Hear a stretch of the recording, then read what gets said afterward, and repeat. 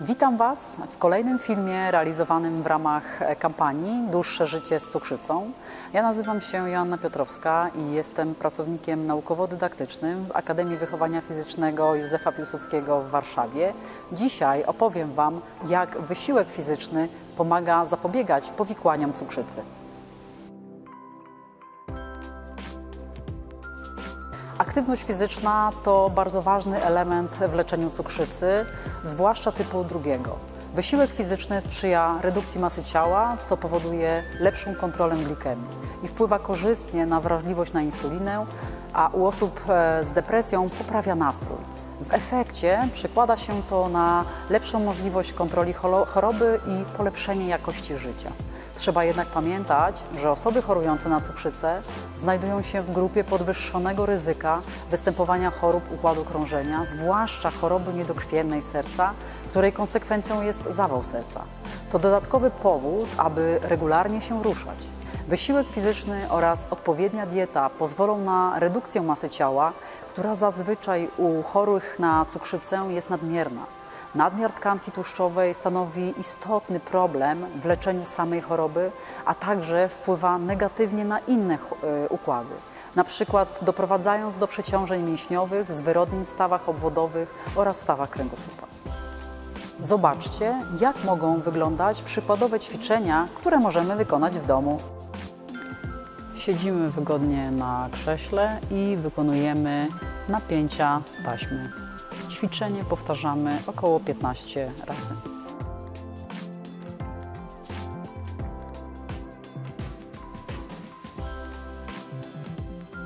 Pamiętamy, aby guma była cały czas napięta.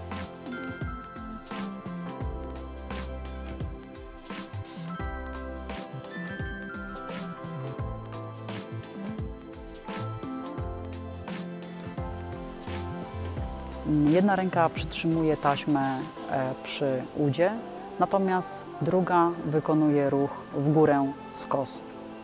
Ćwiczenie powtarzamy 15 razy i pamiętamy, aby taśma była cały czas napięta. Ćwiczenie wykonujemy zarówno na jedną, jak i na drugą stronę.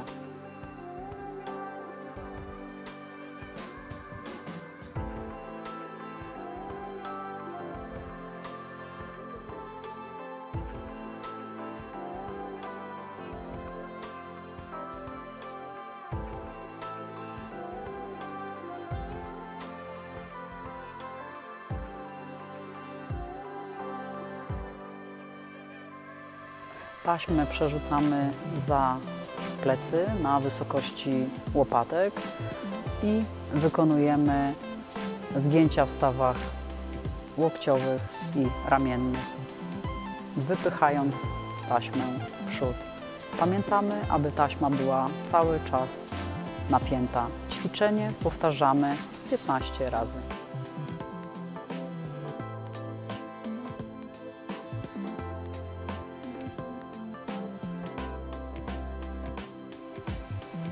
Taśmę zakładamy na śródstopie i wykonujemy prostowanie i zginanie w stawach kolanowym i biodrowym.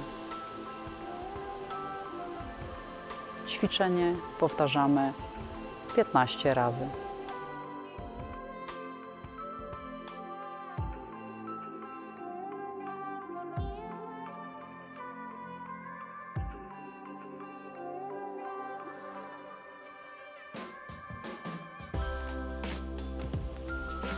Ćwiczenie powtarzamy zarówno na jedną, jak i na drugą stronę.